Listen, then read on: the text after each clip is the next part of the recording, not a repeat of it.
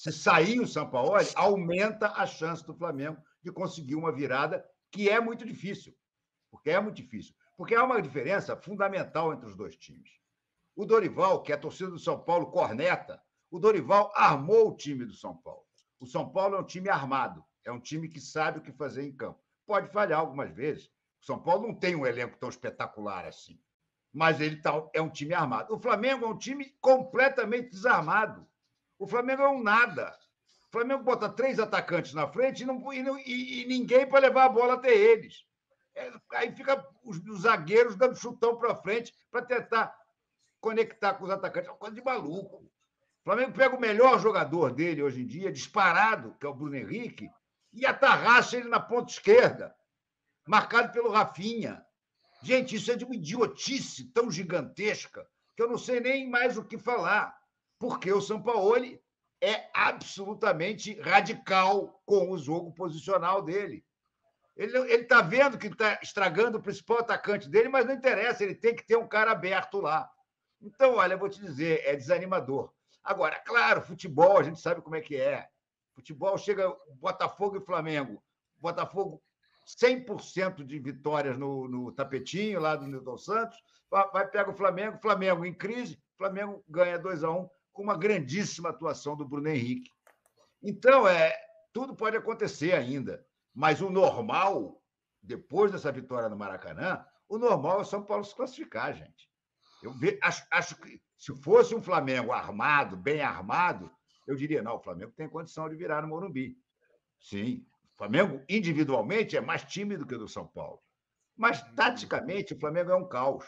E outra coisa, outra coisa, que, que é o que eu digo, eu queria ser uma mosca para ver um treinamento do Flamengo, um só do São Paulo.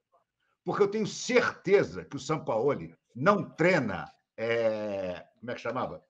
ou melhor, repetição de movimento, gesto técnico, que agora se passou a usar esse, esse termo pomposo. Ou seja, ele não, ele não exercita passe, cruzamento, cabeçada, cobrança de falta, duvido e odó. O treinamento do São Paulo, pelo que a gente vê, é o seguinte: é esfalfar os caras fisicamente, que é o que ele tem feito, porque na cabeça dele o time tem que ter um preparo físico de robô para correr 90 minutos marcando em todo o campo.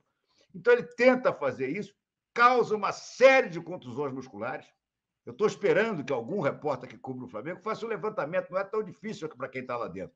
Quantas contusões musculares o Flamengo teve na era de São Paulo? É espantosa.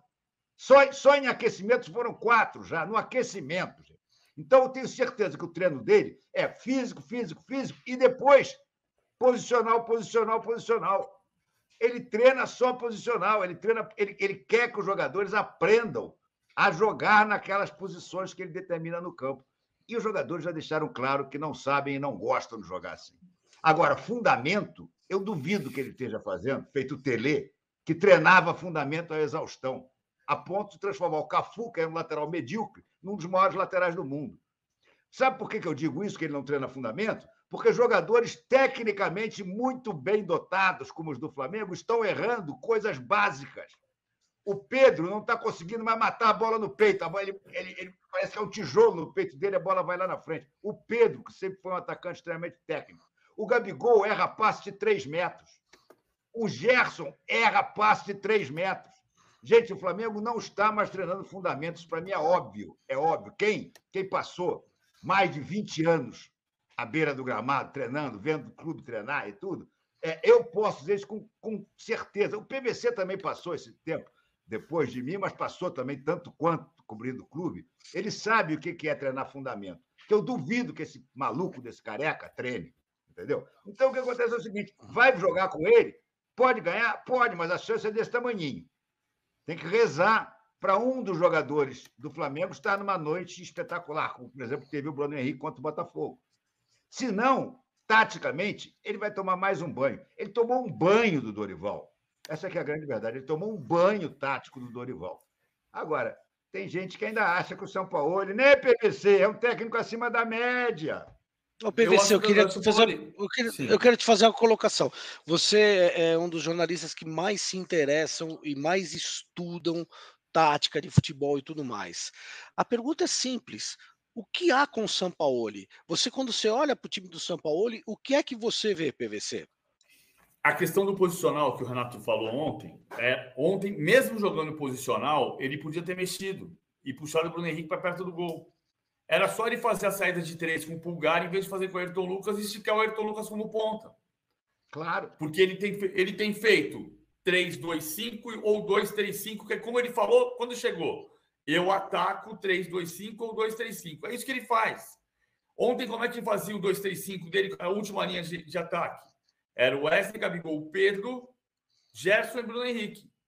Se você atrasa o Gerson um passo, você quer fazer a mesma coisa, você faz Wesley, Gabigol, Pedro, Bruno Henrique e Ayrton Lucas.